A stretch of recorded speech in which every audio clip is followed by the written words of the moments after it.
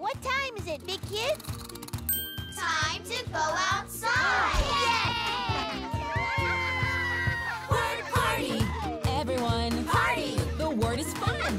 Tilly hasn't said her first word. You could help her with that.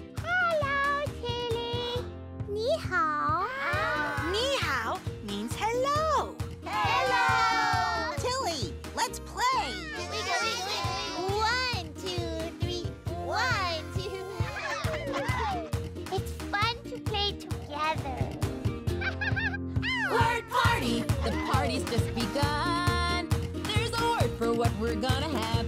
And that word.